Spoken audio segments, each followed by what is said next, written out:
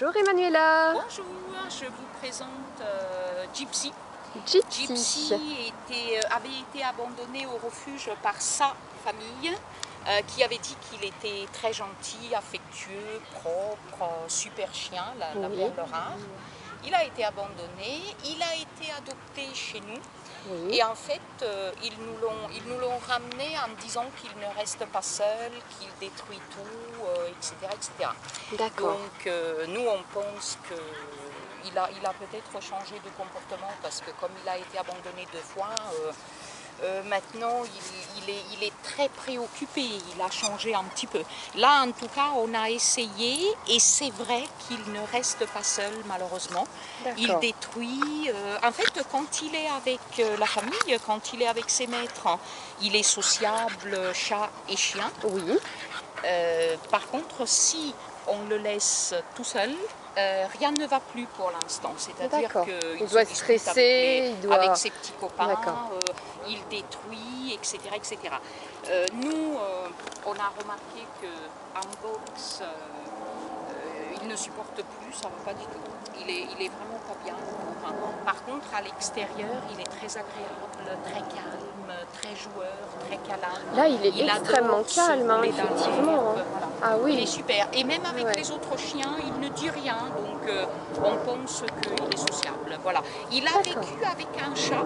Oui. Il a vécu avec un chat euh, euh, parce que les derniers avaient un chat. Et donc, comme j'ai déjà dit, quand ils étaient là, pas de souci. Et quand ils n'étaient pas là, ils couraient après le chat. Donc en fait, c'est un peu difficile euh, de, de- de dire exactement comment il sera avec sa nouvelle famille. Mais une chose est sûre, il faudra quelqu'un de très présent et de patient et qui est prêt à, à- à le rassurer et à le- à l'éduquer, etc., etc. Voilà, il ne faut pas qu'il tombe, euh, surtout pas qu'il tombe avec euh, des gens qui travaillent beaucoup parce que Et le ça le laisse fera seul. pas, euh, malheureusement. Voilà. Donc là, c'est c'est un...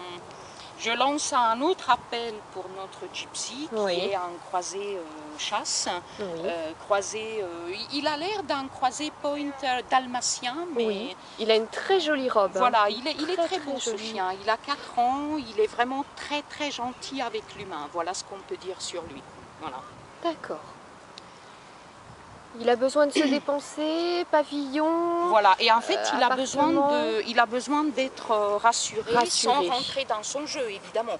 Être rassuré, c'est-à-dire qu'il a besoin de tomber sur quelqu'un qui est euh, euh, sûr de soi et, et, et Qui le laisse à sa place de chien. voilà, ne faut pas faire n'importe quoi. hein. Mais il est très sympa. hein. Il, peut, il peut vivre, en- à mon avis, il peut vivre avec des enfants aussi. Oui. Pourquoi pas Oui. Euh, au contraire, s'il trouve une belle famille euh, qui connaît déjà un petit peu les chiens, pourquoi pas Il va jouer avec les enfants toute la journée, il va s'éclater. D'accord. Mais on pense qu'il faut pas, il faut surtout pas qu'il qu'il soit seul, malheureusement.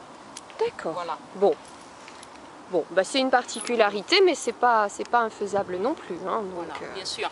Il faudrait qu'on trouve euh, des gentils euh, jeunes retraités ou alors quelqu'un qui ne travaille pas. ou qui travaille à domicile Voilà, ou euh, d'accord. Très bien. Sinon, il a déjà vécu un appartement. Oui. Il était propre. hein. Oui. Il peut vivre en appartement ou, ou en pavillon, à condition d'être présent et, et de le sortir en beaucoup. D'accord. Je ne sais pas si on a dit l'âge de Gypsy. Il a 4 ans. 4 ans. Oh, il est très jeune en plus.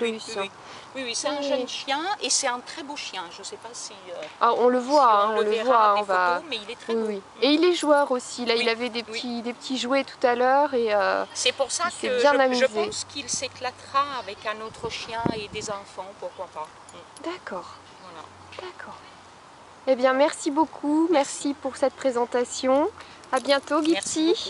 Et puis, n'hésitez pas à contacter Manuela, Isabelle. Elles sauront euh, vous renseigner pour euh, venir le rencontrer.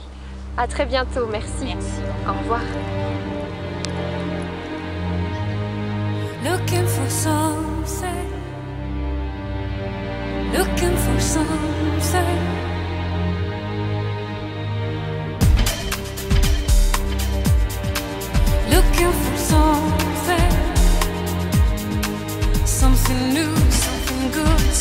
far.